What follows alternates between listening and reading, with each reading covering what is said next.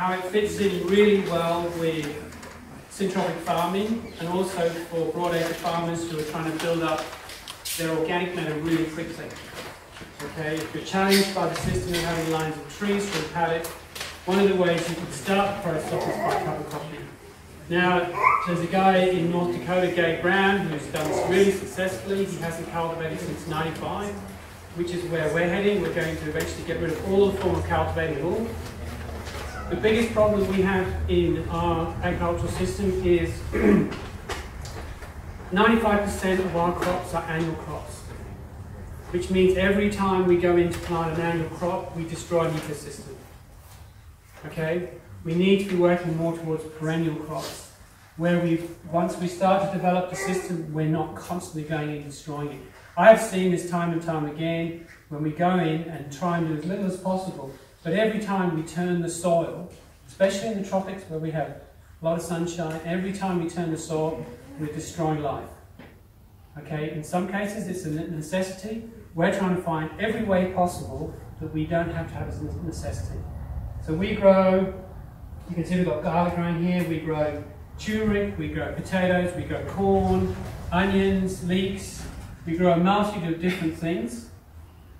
But we're trying to get away from actually doing what we've done in the past, which is ploughing, disking, scarifying, rotary hoeing, all these things which are all greatest destroyers of soil structure. Okay? So cover crop is a really big part of the system. For me, when I see alleys of trees and I see grass growing between it, which is having to be worked constantly, mowed or whatever, that's a lot of fuel going into that energy.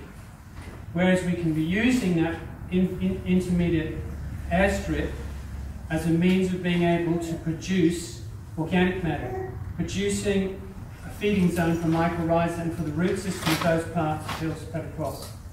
A lot of avocado orchards have gone up all over the tablelands, I'm sure you've seen. They have these huge laneways between their avocados. They're bringing in mulch because they all know now that they need to mulch their avocados. So my neighbour just put in 50 acres of avocados. His mulch bill, just for his own mulch that he grows himself, is $40,000 a year. Okay, he's had to buy a big bale buster, $56,000. He needs a big tractor to run the bale buster. Now he could grow all his mulch between his rows of trees. And in the same time he's building his soil between his trees, he's saving himself a lot of money. He needs one pass to blow all that underneath, underneath his trees. Now, if you do that just prior to harvest, so it's easy for the tractors, when that mulch starts to break down, those trees have just had all their fruit taken off them. They get a huge surge of energy from that mulch. Okay, so it's working in many facets. All right, I just wanted to read you something here that when you hear when it came from, you'll realize that this is not new. Where no kind of manure is to be had, I think the cultivation of lupins will be found the readiest and best substitute. If they are sown about the middle of September in poor soil, then ploughed in, they will answer as well as the best manure. Columella, first century Rome. okay, so cover crops are new, are new things. The Chinese were doing it 3,000 years ago. However, there's been a resurgence of this, especially in America. They're really way ahead of us here. In trying to get away from the use of herbicides, cultivation, in order to try and rebuild these soils that have been destroyed. Hmm. Okay, we all heard about the, the Dust Bowl days and all of that. They're realizing that if they keep going the same way they are, not all of them, a lot of them, that they will end up back where they were. Okay? So what we're going to have a look at is some cover cropping, how to do it, what's the bad, what's the benefits, and how you can do it in your system. Okay? So this is our farm. Okay, so as I said, our main crop is garlic, but we do grow other things as well. So we try to fit this all into a rotational system. We're now starting to grow lines of trees as well because we're going down the line of syntropic as well. Okay? So confusion as to cover crops, green manures and catch crops. They're all roughly the same thing. Okay, they're just depending on how you use them. So a cover crop is basically using plant material to cover the soil. Okay, and this can be from anything from your weeds right through to a multi-species planted cover crop. Okay? Green manure crops are a cover crop, but they're deemed as being something that you then actually turn in to build soil organic matter to be able to hold onto the nitrogen and so forth in the soil. And then catch crops are very similar again in that they are grown in between a cash crop and their job is to be able to grab hold of any nutrients that have been left behind so they don't get washed away. Okay? Again, that will then be turned in so it's similar to the green manure crop. Okay? So what we can use is we can use anything that grows. Okay? You can see it walking around. We've got different grasses, we've got different legumes. There's glycine growing on everything. Okay? Glycine is the most fantastic green manure crop. It's a legume. Okay, do you understand the difference between a grass and a legume? Is everyone totally clear on that? Because this is really important. Legume grow beans? Yeah, they grow beans, but it's, it's what they actually do. Fix nitrogen. No, they don't fix nitrogen. Rhizobium bacteria that lives in the nodules on their roots fix the nitrogen. So if they weren't there, then you wouldn't have the not, you wouldn't have the. No, they're free fixing nitrogen. Azotobacter is one, it's a free floating nitrogen fixer. But legumes have got created a symbiotic relationship between rhizobia bacteria. They produce the housing, which is a calcium shell, which is the nodules. The bacteria has a free house, and in, in, for paying rent, it will harvest the nitrogen and feed it to the plant. And the plant in turn will feed it sugars. Okay, so they have this symbiotic relationship. Okay, but if you don't have the rhizobium bacteria there, you're not going to get nitrogen fixation. Okay, so this is really important you understand that. If you haven't inoculated your seed, and your ground has not got that bacteria, you will not be getting that nitrogen fixation happening by that leaf. Okay? What do you mean by inoculating? You inoculate it with the right rhizobia for that species. So if it's pina, or if it's uh, cowpea, lab lab, lupin, peanut, you know, you name it. They all have different strains of rhizobia that work with them. You have, well, you normally go along and you buy it from your seed producer. Hmm. Your seed merchant will be able to get you the right. Right, so that's what I've been trying to say before the rain season. You should plant the grass with some legume. Absolutely. That will actually, the legume will uh, create conditions for the grass. Yep. And then that will help, that will happen that relationship between the inoculant and yeah. the grass. Yeah. So you have nitrogen fixing in the system. So when you're gonna start doing your crops, it's uh, the soil is way better, mm. isn't it? Yeah. Just, uh, so the legume will produce nitrogen for itself. So you can plant a legume which has been inoculated into a nitrogen deficient soil and it will grow well, where the grasses won't. Okay, because grasses are hungry for nitrogen. Okay, they rely on the free-floating azotobacters, or what is one of them, the free-floating bacteria that can fix atmospheric nitrogen. Okay, so when you when you're doing a green crop, and I know a lot of green people who do green crops, their green crop is sorghum. It's quick, gives them a bit of bulk, and then they're turning it in. But they've missed the whole picture. Okay, so what we're doing is we're trying to harvest. So when you look at this system here, so this is your flat paddock, okay? That's your photosynthetic area. Okay, so we're growing. So you can measure that as one acre or one hectare. Okay. When we look over here, okay, so this is this is growing it with either alley cropping or syntropy, where you've got your canopies. Okay, so you've got all your different canopies going here. In the middle here, this is the strip that's between. This is where you can do the same again. You put your multi-species cover crops in. So we've got, you'll see, See, look at the look at the size of this. Okay, so we're using corn and sorghum. Okay? Massive amount of bio, they're the greatest harvest of sunlight. Okay, C4 and C3 plants, they're carbon collectors. Okay? So by developing that, so in here, I'm doing the same thing again. Onions, beans, um, Brassicas. Okay, we've just been having a look at an area that's really compacted. So, who hasn't got a ripper? Who hasn't got a tractor? So how can we speed the process of that up without actually having to go in there with a crowbar and thing? Mm-hmm. We can use plants to do it. Okay, a lot of brassicas. So the two brassicas that are really available now is tillage radish, okay, and there'll, there'll be pictures of these coming up, and fodder turnip. These produce massive root system. Tillage radish is like the daikon. So, you know, you're getting a radish this long. Half will be in the ground, half above. But its actual root will probably go down two meters. And they will bust through compaction. So you can actually use those as a form of tillage. That's what we've done. We've grown them. And then the holes left by the radishes, when they start to break down, that's a nutrient cup.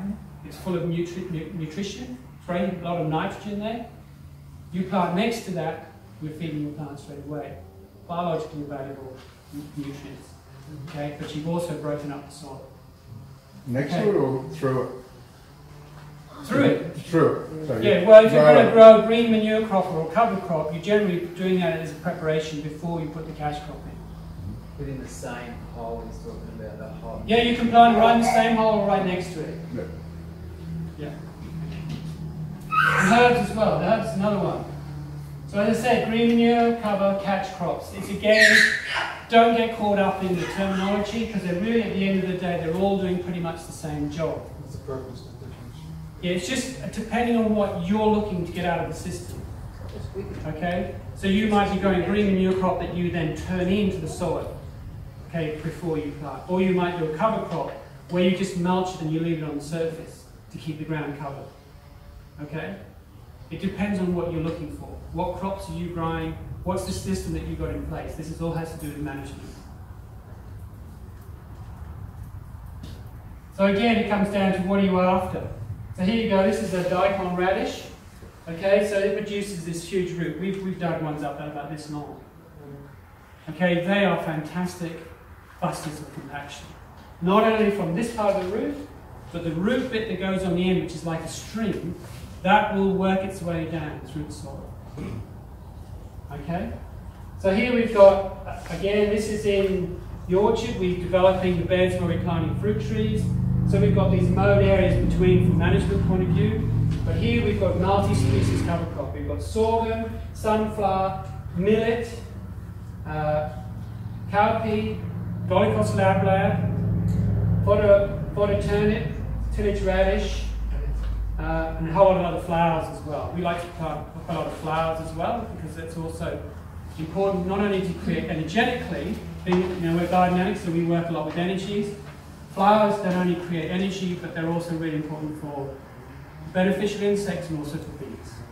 Okay? So the more you can incorporate into your mix, the better.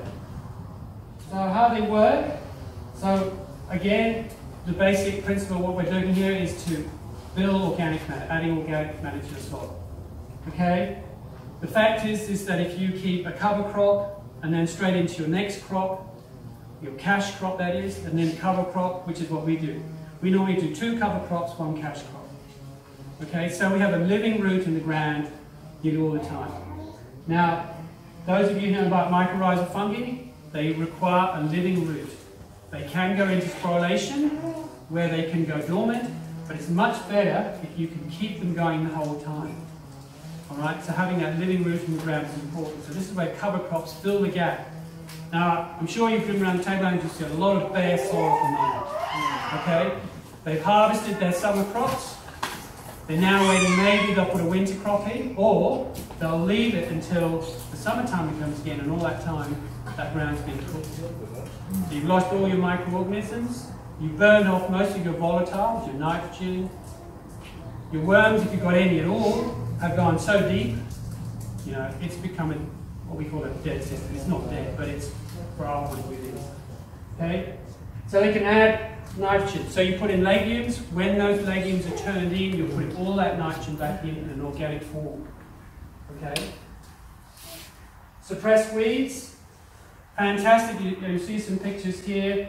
Some of the farmers around me have a real problem with brachiaria, which I, was interesting. It's, you noticed that was in the, the the YouTube. Uh, they see brachiaria as the enemy. So they want to try and get rid of it. But their system doesn't allow for it to happen because they're constantly taking, taking, taking. And the brachy is actually trying to restore balance the time. So by actually replacing them, by putting the organic matter back there, and actually keeping the ground covered, they don't need to be there. Right?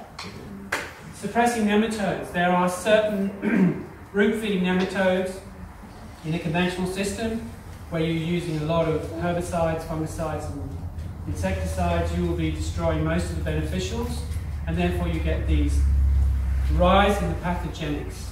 Okay, and some of these nematodes, the root knot nematode and one or two others, which do quite a lot of damage, especially the sorghums and stuff that produce a certain amount of prussic acid, has an effect of being able to lessen their amount. Okay, also with the use of things like brassicas, any of the brassicas, they produce, when they break down, bio Okay, these are like gases like ethylene um, in the soil, which actually work as the same as being able to help reduce the number of pathogenics that you've got. Uh, reduce erosion, increase infiltration of water. For us up here, this is, and I'm glad to say it's a big surface, is one of the most important things. Now, I don't know if you've ever tried doing an infiltration test, it's where you put a pipe on the ground and you pour water into it, and you see how long does it take that water to actually be absorbed? Okay? Now, you put in enough there, so you put, let's say you had a, we get a storm, you get three inches of rain. In a storm, you want all that water stored in the ground. Okay? Where does most of it go? Most of it goes in the creek and it takes most of the fertility with it. Okay, the rivers run red around here when we get heavy rain, and that's all our children and grandchildren's inheritance gone down the drain. So we want to hold that. So we need to build our soils. To build our soils, we need to be humus farmers. Humus is created by the breakdown of organic matter by microorganisms. Humus can hold up to 10 times its own weight of water. So it's like a big sponge. So you imagine you can hang on to three inches in your soil without becoming waterlogged. And that's then can be feeding back especially when you start growing plants that can pull that water back up into the system. Okay, this is where the eucalypt is fantastic. Okay? You're decreasing nutrient loss and attracting beneficial insects. So you can see it's got many purposes. This is just the basics of it. When you start utilizing them, you realize just how many more they can be. So, what to plant as a cover crop? We're very lucky up here. I've traveled around doing a few workshops around Australia. Most places don't have the benefit of we have here that we can grow winter crops and summer crops. We can actually be cropping all year round. Down in South Australia, they get one crop a year. So when I start talking about green manure crops and cover crops, and they go, we've got to grow a crop, a cash crop. We don't have time to grow a green crop. It's not actually true, it's just that their system is that's what they developed. There's pasture cropping and other systems that actually can change that. So when you look at it, there, there is a, this is only some of them, this is not all of them. You start researching and go on to Bing.com is a good one, they can show you a huge amount of different cover crops. Whether you can get the seed here and others is the challenge, where in America there's a much greater variety of seed and it will happen in time. So summer crop, we're looking at so look at grasses and legumes is the main mix. You've got to grow those two together. If you're going to grow a green manure crop, grow as many species you can. The more species you grow, the more diversity you have, the greater area that you're covering all the things you need. Okay, sorghum, millet, corn, sugarcane. Sugarcane is actually a good green manure crop. However, you have to be on top of it because it'll want to come back and stay there for a while. Okay, that might not be what you want. Okay, but it does produce a lot of biomass. Legumes, lab lab, uh, cowpea. Lab lab comes in the two varieties you can get here. You've got Highworth and Rongai. Highworth is very fast, doesn't produce a lot of biomass. Rongai, he is the right guy because he does grow huge amount of biomass, is very aggressive. Um, as I'll show you some of the pictures here, very useful in quite a few of the systems if you're doing a cover cropping system for two or three years. Okay? Um, soybean, sunhemp, mung bean, And then of course there's the others, things like buckwheat, sunflowers, and there's all sorts of different herbs you can use. Um, again, these are all annuals. Okay? There are perennials you can use. We've seen uh, pigeon pea can be used as a perennial. Okay, then there's some of the clovers, subterranean clover, crimson clover, the clover. These are all can have the potential of being biennials, some of them even perennial. Again, it's depending on what you're looking for. The winter one here, again, this is something that we can grow up here on the tablelands. We can actually grow a lot of the temperate um, cereals. Oats, barley, rye, wheat, and rye ryegrass, these are all grasses that grow. You don't get the mass that you get in the summer, and you might have to irrigate. This is one of the, the downsides of the winter ones is we don't get a lot of rain in the winter, and therefore you might be relying on irrigation, which is another cost you have to involve. Okay? Legumes, again, clovers, field pea, vetches. There's about 140 different varieties of vetches, from woolly pod, hairy, um, oh, it goes on and on, okay? Beans, broad bean, and lupin. Lupin, what the Romans were growing, okay? If you can't get manure, then you know lupins will do the job. Tillage radish and turnip. Again, this is bringing in those ground breakers. Okay, so these are, these are what we put into all our mixes. I try to get up to 21 species in a mix. Okay? To try and cover every angle I possibly can. Could cassava be one? Uh, cassava could be. Uh, it would be more like in a perennial system or a biennial. You know, anything like pigeon peas, they you look for them, their mass of production happens not in the first year. Their most biomass is not produced in the first year, but maybe the second year. So they can be used in that system. And again, you know, we're doing exactly what Neil was doing. He's doing the same thing in a way. Okay? You're using that system in order to be able to harvest biomass, okay, to be able to build, build the soil. Okay? To me, perennial systems are better in that you're not, every time you go in and cultivate, you're destroying an ecosystem. Okay? This is a guy in Western Australia, a biodynamic farmer there.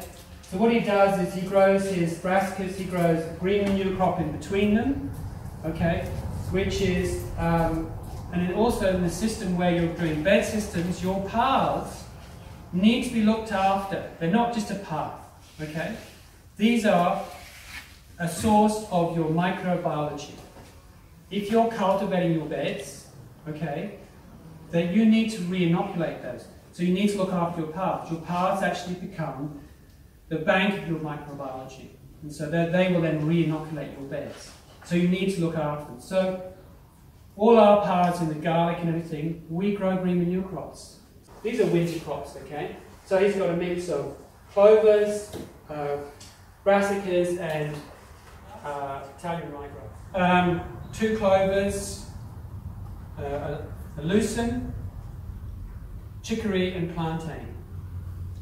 Okay. Excuse me, Adam, do you know of a good source of um, uh, organic or biodynamic seed of those things in Australia or available? Um, Eden seeds, I can do. Sorry? Seeds? Uh, yeah, I don't know if you'd be able to. Green Patches deals better with bulk. Um, I try to source seeds from anywhere I can. There's another one called the Lost Seed as harvesting our well. own and reseeding with our own is one way. It's a lot of work. You know, we do a lot of seed collecting already Mm. uh, because I, I, that's what I enjoy, but it is a big job. Um, so the way you can do that is you allow that, that actually cover crop to go to seed. You allow it to go to seed, and then you can actually then drop the seed back where it is. And if it's a winter crop, it generally won't happen. Come up in the summer, it can do, but generally not. It will then regrow the next winter. So we, we've got some here. This is just, we grabbed this as we were leaving. This is what's growing in the old garlic strips. I let them grow for a year or two. So this is the flower of chicory. We've got white clover. Then we've got crotalaria here, which is rattle pod. This is the legume. Uh, we've got lucerne. This is lucerne growing here. So the limit will be your imagination. Okay. When you start looking, you'll be amazed at where you can source this. Now, I was talking to Jane about this earlier. One of the issues is, is that, you know, a bag of tillage radish, well, that's going to be a huge area. Uh, and that'll cost you probably 90 bucks. So, you know, this is one of the issues that small scale people have is, is that I only need a cupful. So by actually, there's a group of us on the other tablelands that we actually share seed.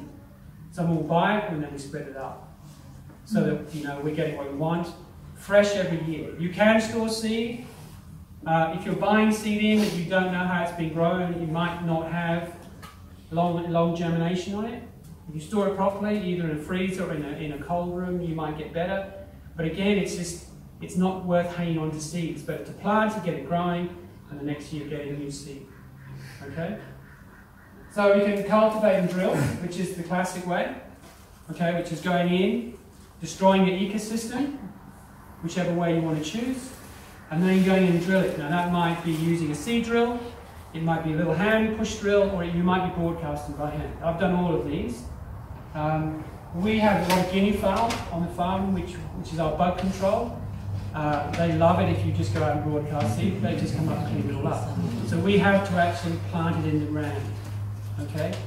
Uh, direct drill zero till. Now, I'm not saying that's right or wrong. It's not what we do. Uh, it's whatever works for you. Um, cell seed or broadcast. Broadcasting can be done either with a spreader or again by hand, and you can broadcast into um, the existing mulch. So if you've grown a crop and you've left the mulch behind, you can broadcast into that. Okay. Uh, if you've got a got a herd of goats or sheep, you can charge them across the paddock, and they do a great job of dibbling it in. Okay. They used to use them also for turning hay. You know, in a paddock of hay, they would run them around the paddock, and they would actually turn the hay. Okay. So again, you know, your imagination is what will limit you. Um, Self-seeding, where you're allowed just to drop the seed. Uh, we'll, we'll grow some green manure crops for three years. One, one planting, okay? Three years of growth, okay? But we have the, the benefit that we can actually set aside something for three years. Most farmers I know, they're squeezing every bit of ground they've got as hard as it can go, okay? That's why the system's failing. The other is a seed seeder. You'll be able to show you a picture of that. A seed seeder is basically, it's a seed box. It has wires on springs. There's a hole size you can set. Um, this friend of mine, um, he has it mounted on his front end loader. He's got a mulcher on the back. He drops the seed for his next cover crop into the existing crop and he mulches straight over the top. Job done. He hasn't opened up the soil in his orchards for two generations. Okay? Okay, so we've got here, just to show you the, the mass of biomass here, which is mainly uh, sorghum, really cheap, quick summer green crop. I allow the sorghum to grow to full height, which is up to 12 to 14 feet. Okay, I have a massive amount of carbon and this huge carbon frame. The Dolichos Lab Lab takes a bit of time to get going. Once it gets going, it will climb right up that frame and eventually pull it down. And you'll see some pictures where it's completely pulled it down. You can't see the sorghum at all, but it's all underneath. Now, if you've ever made compost, you know it's all about nitrogen carbon ratios. Okay? So here, this is the perfect nitrogen carbon ratio. So you're building compost in your paddock. Okay? And nature's doing it all for you. So those of you who make compost, and we make a lot of compost, energy, fuel, time. Okay? Again, this is what it looks like when it's been mulched down. Okay? So you can direct plant straight into that. Okay? No, it's a mulcher. Okay. So the difference between a slasher and a mulcher, a slasher is a single blade or two blades. It chops it and windrows it all. Whereas a mulcher has a rotating drum with flails on it, blades. It chops it and lays it evenly behind it. Okay? So from our point of view, I don't want windrows of organic material. I want it spread over the whole paddock so there's no bare soil. Okay? So then we can go directly into that plant in that, or we can then turn that in if we want to, depending on what we're looking at. Okay, here, a friend of mine, he's um, at Malanda. He's one of the outgrowth from Mungalli milk. So what he's got growing here is a winter green manure crop that he's actually using as fodder as well. So this is what he's got. He's got a mix of oats, he's got brassicas, he's got woolly pod vetch, he's got clovers.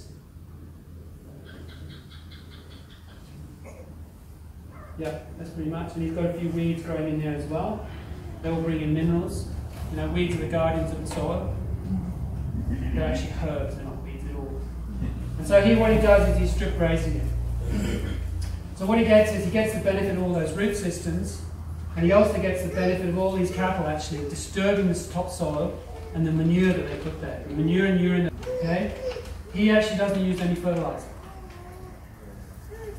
Because he's got his systems working. He's got the microorganisms working.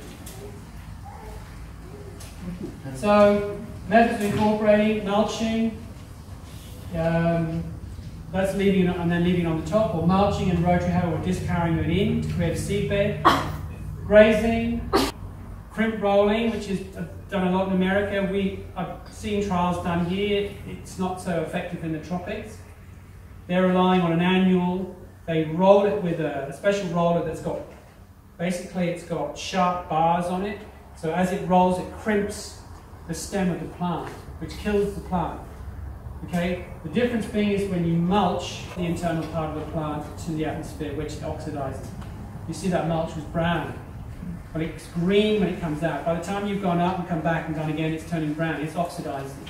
So you are losing something. If you crimp roll, most of that energy is returned to the soil.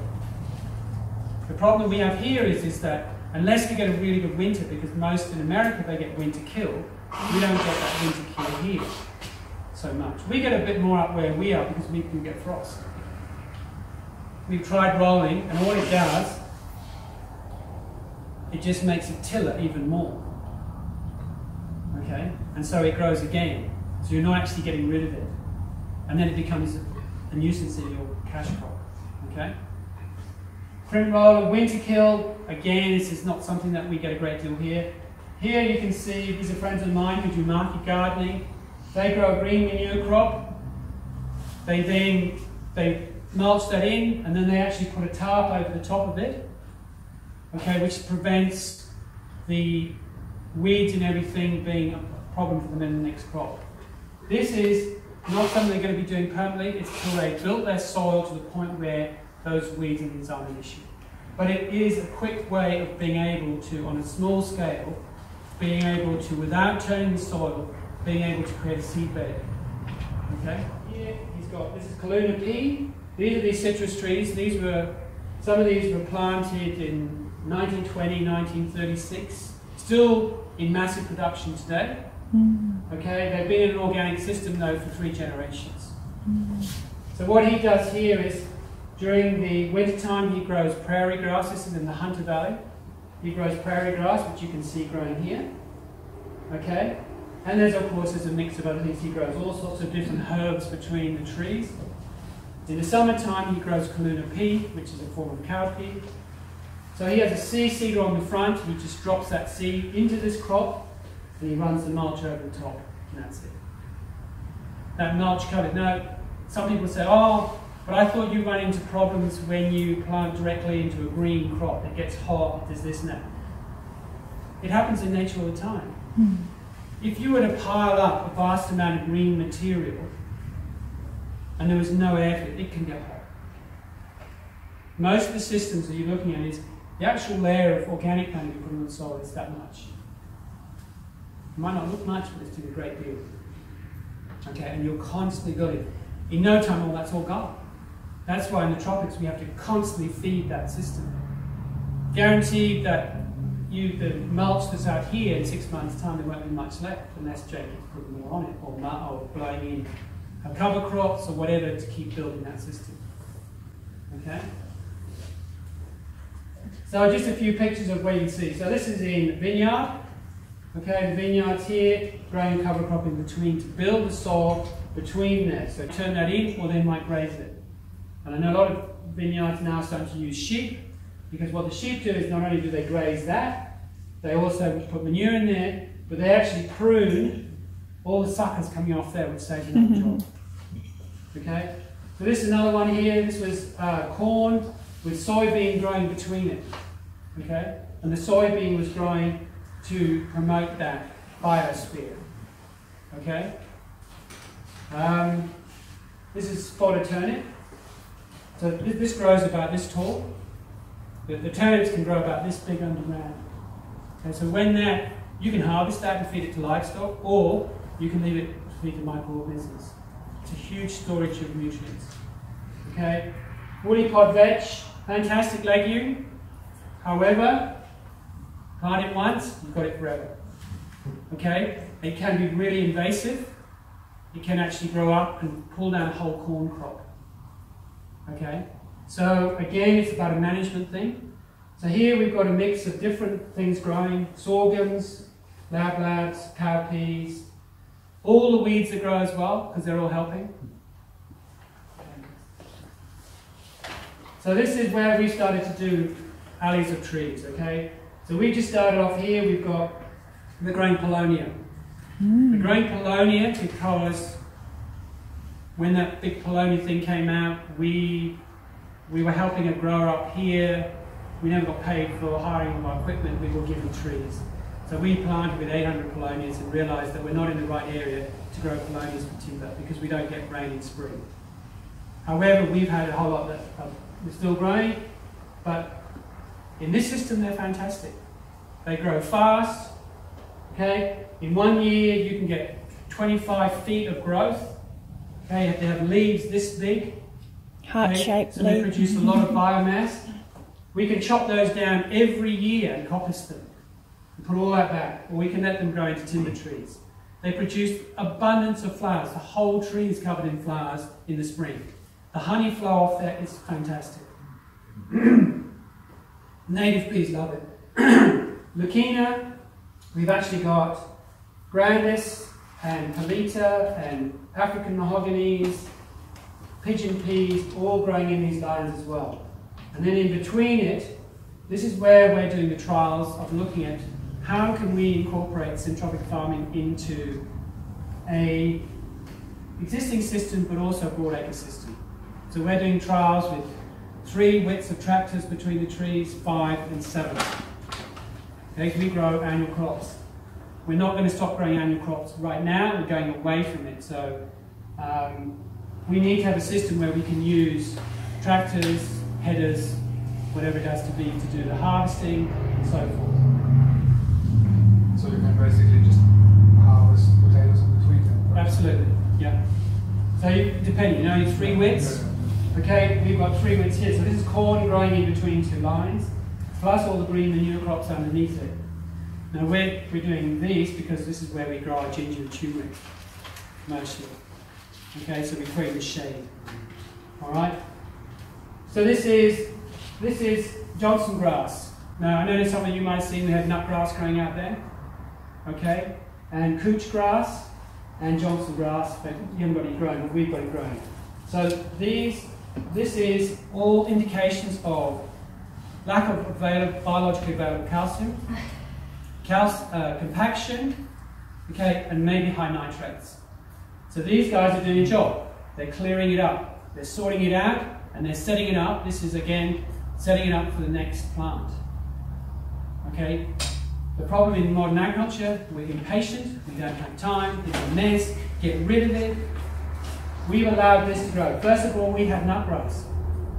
The nutgrass came up as thick as hairs on a cat's back. It was like a lawn. I didn't plant it, but it was there. When we did soil tests, I've got plenty of calcium. But this is a calcium issue. No, it's available biological calcium issue. Okay, we've got plenty of calcium, it's not available. And the same with the magnesium.